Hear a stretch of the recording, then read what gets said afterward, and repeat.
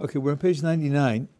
Yesterday, we just finished the first blessing of the of the Shemona Esrei. Now, I want to point out something in the grammar. Let's see if they get this right. Uh, yeah. because it's going to be parallel to something in the second blessing. So I mentioned this to you in general, but I didn't mention it to you in the context of this particular blessing. Blessed are you, you, Hashem our God, God of our forefathers, and there's a long, a long text at the bottom of the paragraph before the gray. It says, brings a redeemer to their children, uh, children's children for his name's sake. You ought to be surprised by that. Because the paragraph starts by addressing God as you. At this point, addresses God as He. They all did that. That's right. We said that yesterday. That in rabbinic liturgy, that it's, it's a standard feature of, uh, of, of, of style. Now, all of the material in between is ambiguous. Every phrase in between could be read as you or he. Uh, the supreme God. You are the supreme God, or he is the supreme God. Bestows beneficial kindnesses. You bestow, bestow, or he bestows. All of them in Hebrew are ambiguous. So you could raise the question where is the shift intended to be? And it's not exactly obvious. But one thing's for sure it's explicit in for his namesake. So we'll have to think about that, and we'll have to uh, have that in mind, because in the second blessing, exactly the same thing happens again. Okay, now um, the next blessing's title in English is God's might, in Hebrew is Gvuros, and Gvura is associated with strict justice, which, as I told you yesterday, there's we talked about what the purpose for creation. Um, so the idea here is that even though the purpose of creation is all loving kindness, we spoke about that yesterday, but sometimes loving kindness is open and obvious when it occurs, and sometimes it isn't. And that's why in the first blessing we talk about good loving kindnesses, and we're not uh, worried that it might be redundant, because the good refers to the fact that they are good when they first appear. You can see yourself that they are good. That's Tov. Whereas when it's uh, Gvuros, which are applications of justice, that's what's called Litov. It's something which is for good, brings to good, a means to good, but in fact is not good itself. If you're worried about the idea that God brings about things that are not good, so I have recorded that many times. You can look it up on Torah anytime, other places. Yes, it is true that God does things that are not good. He does them for good. So, um, this blessing, which is titled Vuro, starts You are mighty and they translate here, my Lord, with a capital L, because this is the name of God, which is spelled with an Aleph Dalet, not with the Yud and a Hey and a Vav and a Hey. And it's good that in this case they, they give it a different English translation. Um, they translate reviver of the dead. Are you with abundant power to save? Reviver of the dead refers to what we call Tchias That is to say, when after at a certain point in the future, after Mashiach comes, there will be a uh, coming back to life of those who have died. Um, it's not obvious that that's what this this phrase means.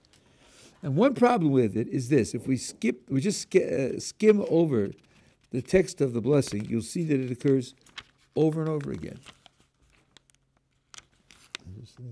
Yeah. Um, the second line on page 100. Um, well, how do they do it over here? Who sustains the living with kindness and revivifies the dead, that's two. With abundant mercy, suppresses the, suppresses the fallen, heals the sick, releases the bound, maintains his faith with those asleep in the dust. I suppose that's also reviving the dead. That's with his faith with those who sleep in the dust. That's three. Who is like you, master of mighty deeds, and comparable to you, O King, who causes death and restores life. That's four. Make salvation sprout. And you are faithful to revivify the dead. That's five. And then the closing is Blessed Hashem, who revivifies the dead, which is six or five, because the closing should be five times one blessing is really, I think, a, a, a winning score. Our use of Hebrew, the classical use of Hebrew, is extremely um, uh, brief, truncated, um, full of uh, uh, the suppression of things that you would like to know. Great stories like uh, the sacrifice of Isaac uh, told in 30 sentences. You could write 60 pages on that story. So when you know that you have a style of writing that is extremely concentrated and extremely brief, and you have in a short paragraph the same thing five times, it catches your attention. You know, something something special is going on here, and something so special has to be understood in a so special way. Ham which is a very early sefer from, and from the medieval period devoted to explaining the text of prayer, has a different idea here. He says there's only one phrase that specifically refers to the future revival of the dead, and that's he keeps his faith with those who sleep in the dust. That one's hard to avoid. Those sleeping in the dust, those who have died already. And he keeps his faith with them, it means he's going to bring them back to life. The others, he says, are, are indications of the fact that uh, I'll give you a modern a modern analogy. You know, we're like like a vacuum cleaner. You got to plug it into the wall because that's where the electricity comes from.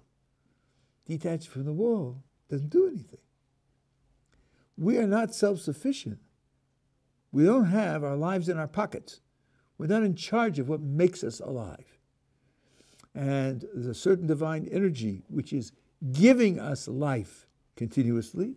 And also there are, in, there are elements in the environment which are designed to produce life. And then we take this phrase in the Hebrew literally, it literally means causes the dead to live. And the implication is that if you look at a human being isolated, that's like an unplugged vacuum cleaner. An unplugged vacuum cleaner won't do anything. Even if you flip the switch, it won't do anything. So a true a human being also who's unplugged from the life-giving features of the world, including direct divine energy, is dead. We have to think of ourselves as essentially, inherently dead, receiving life all the time. Now, I don't know if you're into the studies of fine tuning, which have been carried out by physicists and biologists and astronomers, but there are uh, many features of the universe and many features of the planet without which life or, or intelligent life could develop and, and, uh, and, um, and exist. Of course, develop means you believe in their story, which we don't believe in, but the, the requirements are uh, many and some of them are very mysterious. Um, we all obviously depend upon liquid water. Um, last time I looked, there was a research paper which said there are 20 features of liquid water that are not currently understood, not currently explained. The chemistry of water doesn't explain them. That is to say, we don't know the chemistry well, well enough, probably. We don't have the current explanation. One little thing is, you know, when you cool things down, they contract. When you heat them up, they expand. You're familiar with that. At what temperature would you expect liquid water is at its uh, most contracted? Zero. Most contracted, zero, right? Just before it turns into ice. But that's not the fact. The fact is that it's most contracted at 4 degrees centigrade. And as you continue to cool it, it expands. Hmm, that's a little weird. Why would it do that? Well, you see, if you have a liquid and some parts are more dense, and some parts are less dense, the less dense parts are going to go to the top. And now they're four degrees, so they're not freezing. So they protect the water below from freezing because they protect it from the cold air that's above, which is at zero degrees Fahrenheit. Right? And that's one of the reasons why you only get a thin film uh, of ice on the top and the rest doesn't freeze. Also, when it goes down from four to zero, it expands. When it, when it becomes ice, it expands. So then it bells up, since liquids are almost in- incompressible. It bells up, and there's a, and there's a pocket of air underneath. And that's why lakes and streams don't freeze solid in the wintertime. And that's pretty convenient, because if you're a fish, you're not going to live if it's frozen solid. And most of the vegetation won't live if it's frozen solid. It'll Be one winter, and when you wake up in the next spring, it'll all be gone. So that's one little tiny feature of how the world is designed, which enables, enables us to survive. So these, this repetition of the Chaya Mesim is, is to invite you to meditate on all the features of the world that make life possible or sustain life. Uh, we have a lot of press about all the dangers uh, that the planet is enduring, and there's a lot of uh, talk about the fact that it's human beings' activities that are destroying the planet and putting us all in danger. And uh, I'm not commenting on how much of it is true and how much of it is hype and so forth and so on.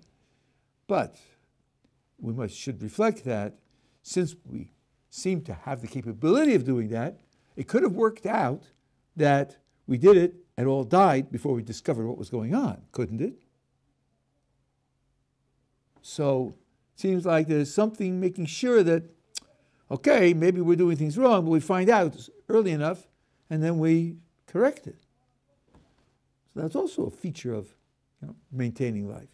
So uh, although the translators here translate it as the Tchias Hamesim, the reviving of the dead, which will take place in the future, I think that a, a, a correct and more immediate and fruitful understanding of it is to meditate on the various features of the world by which we manage to survive.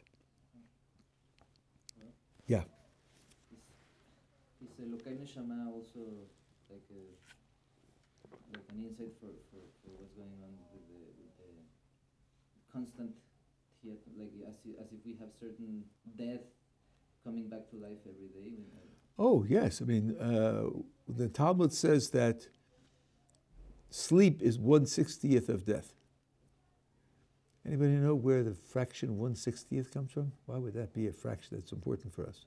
Isn't that uh, absorbed treif if it's kosher food? Okay, so when you have a mixture of food, let's say, and one part is kosher, one part is treif, if you have 60 parts kosher to one part treif, total of 61 parts, that usually means that the treif part no longer plays a role, and you can eat all 61. Some say the treif is converted into kosher, some say it just doesn't have an influence on determining the character of the mixture, but everybody agrees you can eat, you can eat, the, whole, you can eat the whole thing. Any less, and it destroys the mixture. So one part in 60 would destroy the mixture. That means one part in 60 is the smallest presentation possible that doesn't disappear. Because we're 1 in 61, it would disappear. So when you say that sleep is 1 60th of death, what you mean is it's got something in common with death, but the amount that it has in common is so small that if it were any smaller, it would disappear entirely. So it's the smallest possible amount in common with death that still has a, a, a, an identity. Um, and then waking up in the morning is a kind of revivica- revivification. Of course, it's a miniature, but one has to appreciate that the, the process is like, how shall I say? Um, you know, it's like vicarious experience. You, you meet people who've had certain experiences, and you, and you think about people who've had certain experiences, and you think, boy, having that experience could be very valuable could change your life. Or let's suppose you're going to be a psychologist or even, let's say, a surgeon, and you're going to treat people and you think, if I had experiences similar to theirs, I'd be much more sensitive to them. Now, let's suppose you're a psychologist who treats addiction. Hmm, you don't want to become an addict so you can experience it for yourself and then be more sensitive to other addicts. I don't think that's the route to go. We have a substitute. We have literature and other artistic expression, film, where you can have those experiences vicariously, not as intense, obviously, not as powerful, but still similar, so that you can say, aha, that's what it's like to be an addict, and thereby be more sensitive to, to, uh, to people of that kind. So here, here also, you know, you have the experience of, of, of sleep where you have no control, you're not aware of what's going on around you. You can be taken advantage of because you have no uh, awareness of what's going on around you. When you wake up, you have to be filled in what happened in the last seven hours. Um, that's to give us just a little bit of a, of a taste of, uh, of what death is like. And then restoring the soul is like, like a revivification. So I think, that, I think that's right. Is that right? There are other things also like 160th verse. Yeah. We go back a little bit to the part, the part that said uh, he he does he um, does it for his name's sake? Yes. It would. I, at first glance, it looks like he would do, do all of these things for our sake. I mean, he, he does a, a lot of good things, and I would think I would think that he would he's doing all of these for us. Yes, but there's a, there's a variety of ways of doing things for us. Um, I don't know if you've heard the expression, maybe it's already co-signed to, to history, but there was there's an expression, bleeding heart liberal. You can look it up on Wikipedia, they have it. Um, it meant that a person who's moved by his emotion of sympathy above and beyond what logic would require him to do. So is he doing it for him? Sure, he's doing it for him. He's doing it for him so much that he's doing it out of control, without any logical, without any logical plan, without any logical uh, con- uh, con- uh, constraint. He's certainly doing it for him, but it's not the best thing to do for him.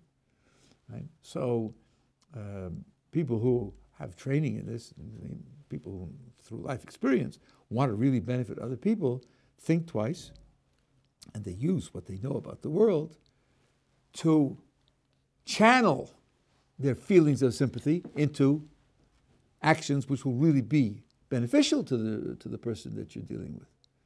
So it's not, it's not enough to say he's doing it for. How is he doing it for? What particular elements of his, of his personality, character, motivation are operative in his doing it for? Um, and that's what I think Iman Shmo means. Kodesh Baruch Hu has his own plan of how to do it for.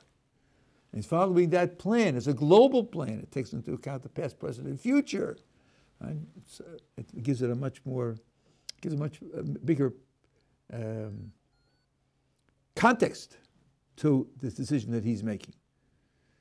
Uh, if you didn't have that context in mind, then you could misinterpret what was happening and not appreciate it. I'll give you just one little example of this. People worried about certain types of lives. They'll say, this person born as a Jew, but he never heard anything about Judaism. He lived his whole life that way. He died. What's the use of a life like that? What does God get out of a life like that? Why does God create him? Why does God bother investing in him? Now, you find out about reincarnation and you say, um, imagine a biography that has 10 chapters. This guy lived to 100. Each, each chapter is devoted to a decade of his life. And you read chapter 6 only. How much would you expect to understand out of chapter six only? Well, gee, you know, I don't know where he's coming from. I don't know where he's going. I wouldn't understand a lot. And if I'm smart, I wouldn't draw any conclusions about the significance of his life just from chapter six. Now, I tell you, what you see from birth to death is only one chapter.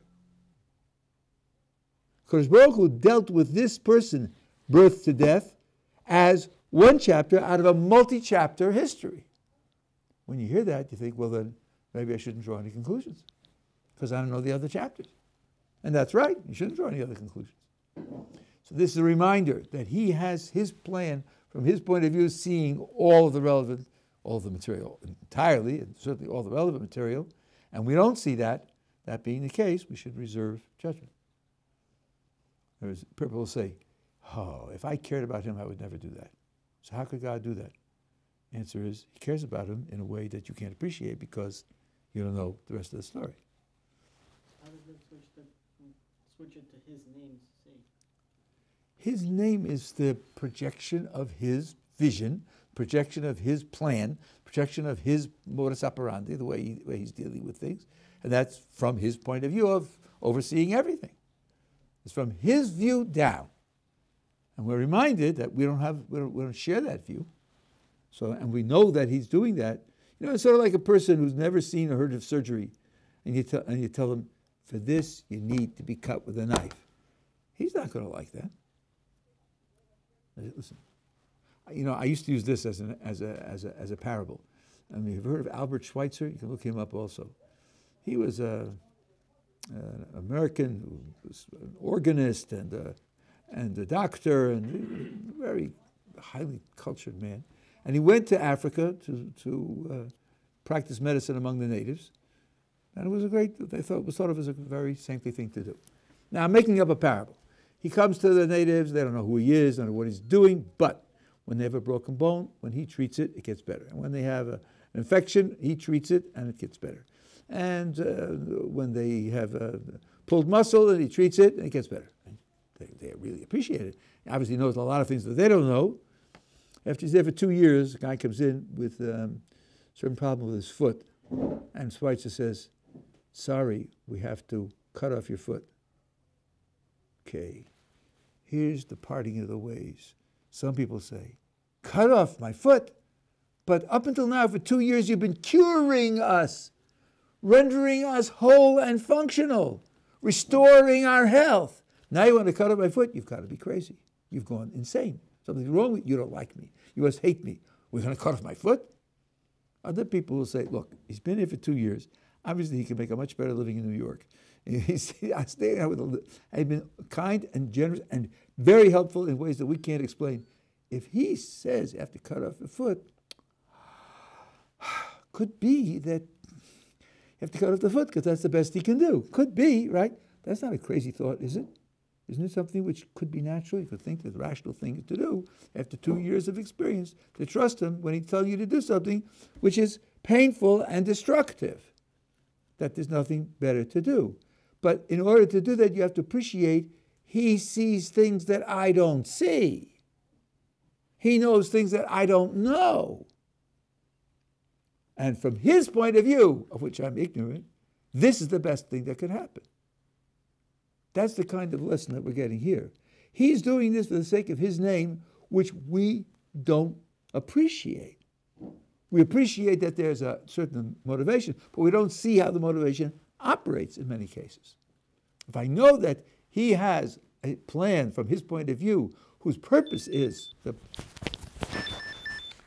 whose purpose is the uh, uh, the production of, of loving kindness, then I can then I can trust. But I have to remind be reminded of that. So I, I should have done this before. I always forget to do this. Where am I up to? 150. I have to calibrate my insulin pump sensor. 150.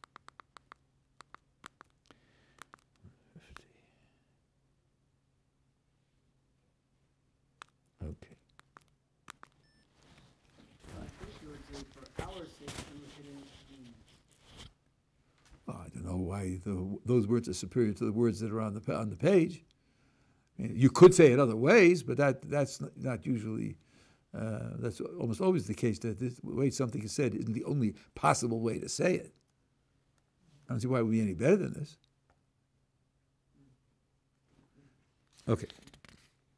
So now, um, remember now that this is might, which we we translated as as as strict judgment, and let's see how the how the how the text goes.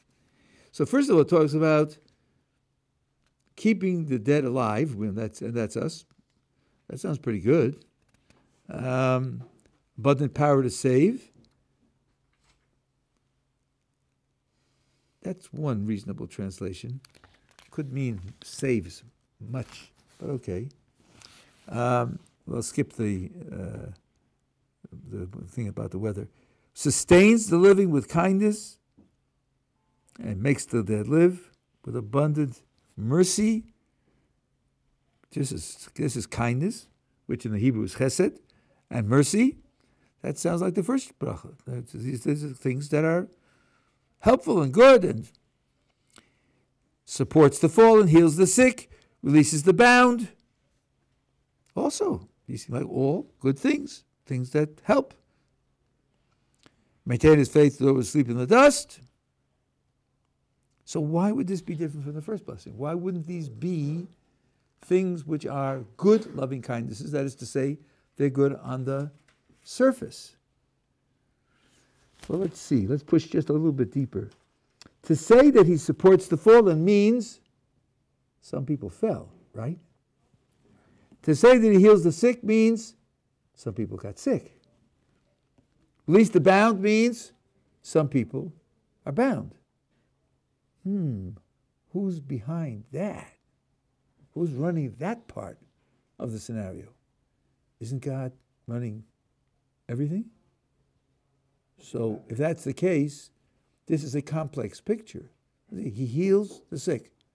Okay, but he has a world in which people get sick, and then he heals them when they get sick. So, if you're talking about the whole picture, the sickness has to be part of the picture also. That's not what you would find in the first blessing.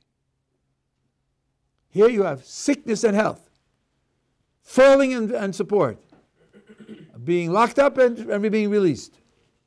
So some of it is definitely what justice may require, strict judgment may require, because being falling or being sick or being locked up are negative features of the world. Even giving life means that you yourself don't have. You're not created as having the life in you. That means you're not self sufficient. God is ultimately, completely self sufficient, isn't He? That which is not self sufficient isn't like God in that respect. If God is perfection, then being dependent upon another is an imperfection. So that's an imperfection that He built into us. So maybe we are getting such a picture. Now, imperfections, like all things that aren't in themselves good, lead to good. But they are things that lead to good, not that they are themselves, themselves good. So, for example, um, we had two days ago in last week's parsha, and we uh, uh, the punishment of the snake. And one of the things in the punishment of the snake is that he'll be eating dirt. So the critic asks, That's bad? Listen, there's lots of dirt. He's never going to run out. There's lots of dirt almost everywhere. You know, his food is all around him. What's wrong with that? And the answer that's given is well, it's contrasted with how God took care of the Jewish people in the wilderness for 40 years. Every morning they found manna, and every night it was all gone. They went to sleep with nothing. The following morning, they woke up and found it again. And say the Talmudic rabbis, because he wants us to pray to him for what we need. And what he's saying to the snake is, I don't want to hear from you. I give it to you all free. I don't want to hear from you. I'm not connected to you anymore. Wanting to hear from us means he wants to, a relationship with us. So creating us dependent leads to what for us is a tremendous gift is continuous inter, inter, inter, interaction. But it is an imperfection. So uh, the idea of creating us without life as part of our own nature and giving us um, and having to give us life means that we appreciate that we're dependent in that way. And this isn't, uh, this isn't metaphysical because the soul isn't like that. soul is something which, by its very nature, lives and could be destroyed, but by its nature lives. So it's not, not that he couldn't do that. Yeah, in the back. Um, why wasn't the snake able to do tshuva? Why was the snake what? Why wasn't the snake able to do tshuva? Oh, why was the snake able to do tshuva? What kind of creature was the snake? Did the snake have free will? Didn't the snake have free will? It's a long and difficult subject. I will tell you just, uh, uh, there's a halachic answer to that question. Um, we have a rule in Jewish law that for a punishment to be mandatory, whether it be, let's say, execution or lashes, for punishment to be mandatory according to law, the criminal has to be warned before he commits the crime, and he has to respond and say, Yes, I know, I know it's forbidden, and I know you're watching me, but I'm doing it anyway. Otherwise, law does not require punishment. There's one exception to that rule, and that is someone who tries to influence someone else to, to worship idols. There you can hide witnesses. And you say to the guy, gee, you, we were talking about something in the marketplace. Could you tell me over again what you were, what you were saying? And the witnesses are behind the screen. And he tells them over and says, I want you to come with me to worship idols. And he's murdered. He's, he's, he's, he's executed. He's executed by the court. He doesn't get a second chance. For this crime, he doesn't get a, he doesn't get a warning, doesn't get a second chance. It's, it's, this type of crime. That's what they were doing. He was, telling. He was trying to con- he convince them to do something which directly rebels against what God wanted from them. That God's That free- he's called a meisis in Hebrew. It's called a meisis. Didn't God create the snake to? So that's where we were before, right? I, I said, does he have free will? And is he responsible for what he does? Okay, that's a good question, interesting question. That's where we were before. Uh, you asked a different question, and, I answered that question. Okay, so now, so all of these things are equivocal in that way. There's someone who's in trouble, and God is helping him in his trouble. So that is, is the element where you see the idea of, of, of just, justice and judgment entering into the picture indirectly, but it's, but it's in the picture, which wasn't so in the first blessing. Now, all of this, the way your translator writes it, is. Um, let me check here. Yeah. So here you have the same thing as I mentioned at the beginning of, the, uh, of this afternoon's shiur. The, in, on page uh, 99, it starts with, You are eternally mighty, my Lord, etc., etc. And it says you twice, that's true in the first line. Then you have a string of descriptions, and then it says, um, keeps his faith to those who sleep in the dust. There's a switch to he. And then it immediately goes back to you. So obviously, here it's only this phrase that's meant to be in the third person. And if it's parallel to the first blessing, that means that only that phrase is meant to be the third person. Now, you can do the following, although I indicated another way of doing it. If you follow the translator in the first blessing, that um, Redeemer is uh, with a capital R, referring to the Messiah. And here you're talking about keeping his faith to those who sleep in the dust. Those are both events in the future. Everything else in the blessing is things that happen in the present.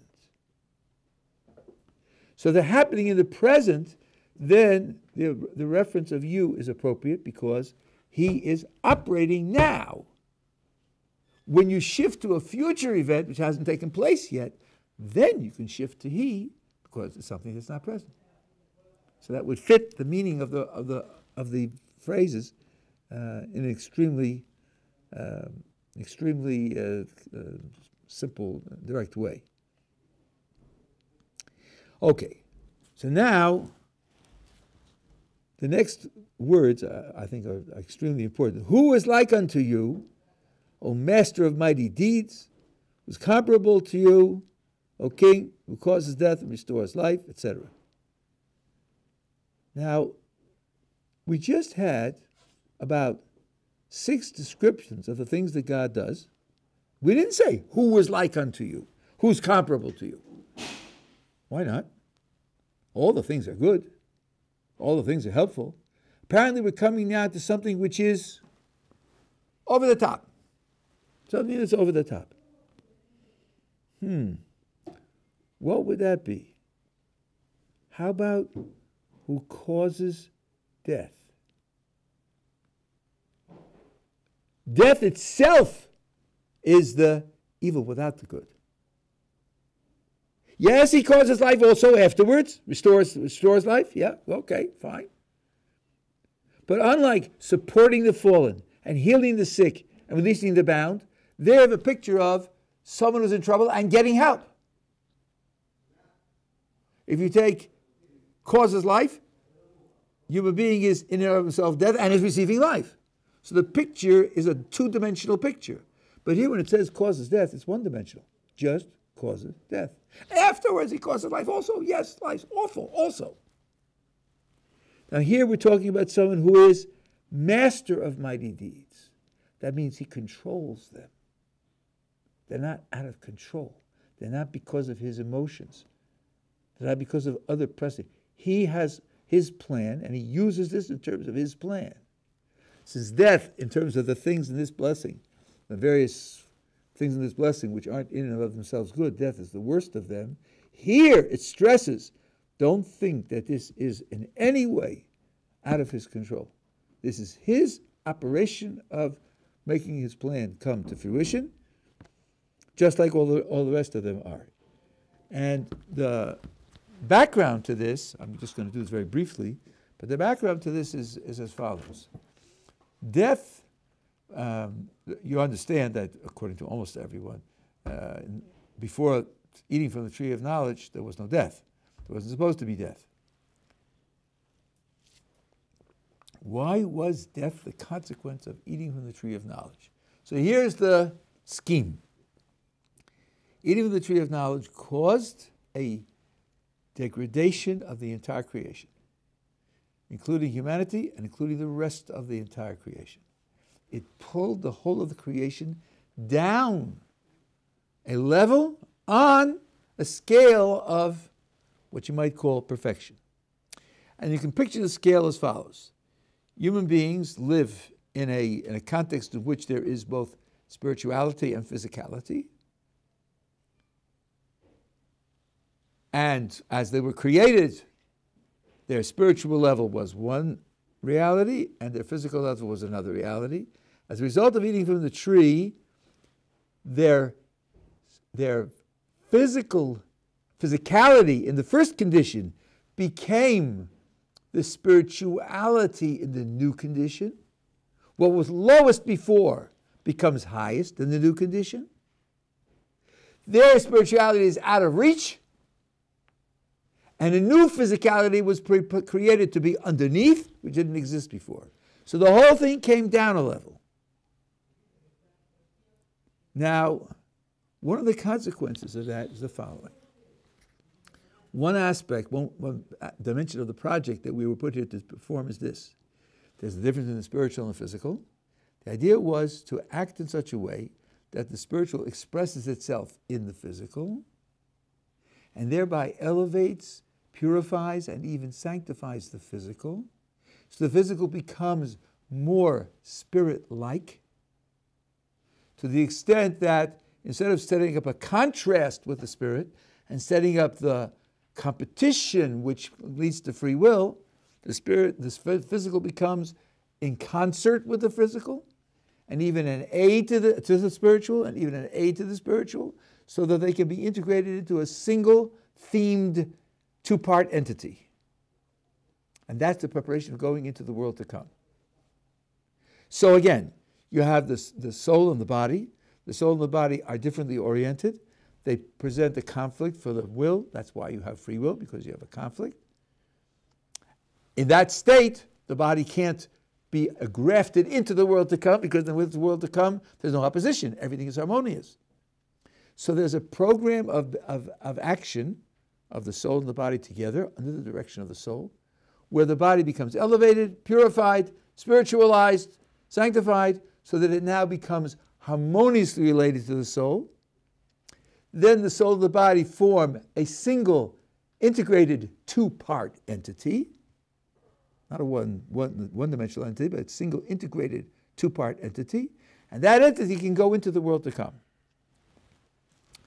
But one of the consequences of eating from the tree and bringing the whole world down is that the body has become so degraded that even if, together with the soul, it engages in activities which express spirituality, the body can't tolerate the transition to the position of complete harmony with the ultimate spirituality. If it were put under pressure to make that transition, it would simply cease to exist. Be like what happens to many people who make aliyah to Israel. They lose their electrical appliances. They plug a 110 electrical appliance into the 220 electricity here, and it fries. That's what happens to your telephone, and that's what happens to the soul if, the, if it were. So, death is an opportunity for this degraded body to deteriorate and to be remade in a superior fashion where it can relate to the soul, similarly to the way in which the soul and body of Adam and Chava were related to one another, so that what the soul has done in this world can then affect that body to elevate it, purify it, spiritualize it, sanctify it, and make it capable of being integrated into a single spiritual entity with the, uh, with the soul and go into the world to come. So death is the way you repair the damage that has happened in this world, which would prevent the project from being completed. That's why death was a consequence of the, uh, and that's why this thing, which is in and of itself bad, because God didn't decree death. God put death in as a possibility, as a repair for, for a failure. But had they succeeded in the challenge in the Garden of Eden, no one would ever have died. There wouldn't have been any death. So it's to hear the, the blessing is saying, God, who's the master of this kind of uh, means, an event that's purely a means, he's the master of it, and therefore he controls it and he uses it for that higher purpose, and he uh, you know, applies it only to the minimum extent that it, that, uh, that it can be applied to achieve the to achieve the purpose.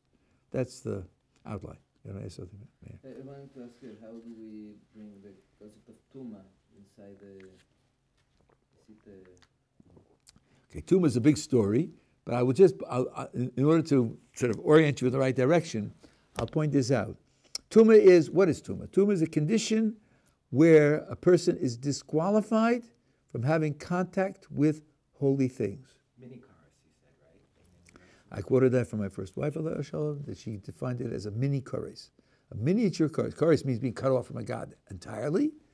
And she says like a miniature because sometimes you can't go into the temple or you can't eat consecrated foods. And sometimes it's from sacrifices. Sometimes you can't eat truma. The things that are holy, you have a restriction that you can't you can't uh, be, have contact with them.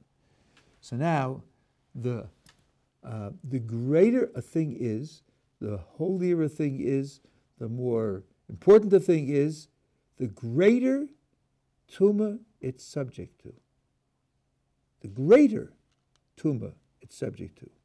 The thing which is has the most tuma is a dead Jewish body. Dead Jewish person's body. A dead horse also has tuma. How come a sheretz is an av hatuma? It's just a bug, but it's. It's not a bug. They're reptiles. They're not bugs. Sheretz I mean, the word sheretz doesn't mean that, but eight shruts are not, not bugs. Um, but uh, the things that, ha- that have tuma, the holier the thing is, the more tuma it has. The, according to many, a body of a, of a non-Jew has tuma, but not the same kind of tuma as, a, as the, the body of a Jew. So it's as if you have a, a, zero point, and you have the capacity to move above and below, and that's they are it's a mirror image. The, the extent to which you can move above is parallel to the extent to which you can move below. And if you are capable of greater elevation, you're also greater, uh, capable of greater degradation. The, the two are parallel to one another. So that, that's the starting point for, for Tuma. And the other thing, which Hirsch says, They'll work a little bit to work out the details, but he says it all has to do with death. All tuma has to do with death. Um, you know that if a person, if a man has a mission, there are millions of sperm there, right? A woman who has uh, who is bleeding is because the egg that could have been fertilized was lost. Um, the only example which is problematic is birth. A woman gives birth, and one explanation of that is, well, up until now she was two live, and now she's only one live. She's lost that life from her. It's not it's not in her anymore. It's not part of her anymore. So she's lost that. They all have to do with with uh, with death. And Rav Hirsch explains it this way. I guess that's what I'll finish with today. he explains it this way: Human being is created. This is similar to what I said the other day. That's, very nice. Ozer. We said Ozer is more than Moshiach Magen. So Ozer means helper, and helper means you have a project, and you're working on the project. You just can't do it on your own. And I said you weren't created to be drowning, and God should save you. That's not why you were created. More so, you weren't created to be protected from things that don't ever reach you. That's not why you're in the world. You're in the world to do. Okay, you're in the world to do. Death is the absolute antithesis of that. Absolute antithesis. You lose entirely your ability to do. Going through something like death, going through something that's related to death, brings a person face to face with the ultimate limit on what he's able to do. It's like, if you're sensitive to it, it's like a soul shattering event. And that's why one ingredient in, in, in achieving pur- purity is going to mikveh, which, according to many, is a, is, a, is a kind of imitation rebirth event. You immerse yourself in water, totally, and then you emerge. That's so different from being born. It's a kind of rebirth reenactment. Uh, enactment. So that's, that's where the tuma is coming from. And uh, okay, that's enough to say. You got a question? Okay, yeah, in the back. Um, is it true that to an extent, uh, I, I heard, I don't remember where it is from, but, um, the Torah, the Torah itself, like the scroll, you're not allowed to touch the, the, the scroll itself because it has certain amount of tuma to it, because No. it's. V'shel. what it's you? Not like, it's not like the tuma that, that like we think of, it's like so. No, you heard something else. So the, these are these are scrolls, uh, and particularly scrolls of, of, of, of the Megillos. They, they, they made a tuma, uh, the rabbis made a tuma out of it for the following reason. They were stored in walls and ships and so on and so on, and there were rodents that uh, came and could come in, in contact with them and make them tamei, and then they were afraid they would touch truma. So they wanted to make sure that they wouldn't touch truma, so they made a tuma for them, and therefore you can't stare at sort of any place where there'll be food. But that's that not, not, nothing to do with there. And, and uh, the, the kind of tuma that they have wouldn't make you tamei. Much in, too inferior to make you uh, to, to, to make you tamei. So Yeah. Same question, how come reptiles then are capable of being an av hatuma? How holy are they? Well, first of all, it's only eight species. It's not. It's not all of them. It's, it's all species. I don't know what what what, special uh, um, connection they have. I don't know. I'm trying to think now.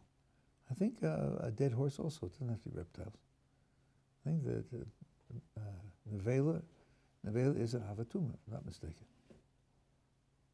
Yeah, I. It's not not not just yeah, but it's mason bump you'll become tamei through them. I think, I think, I think that's true. Okay, we'll pick it up again tomorrow. At the uh,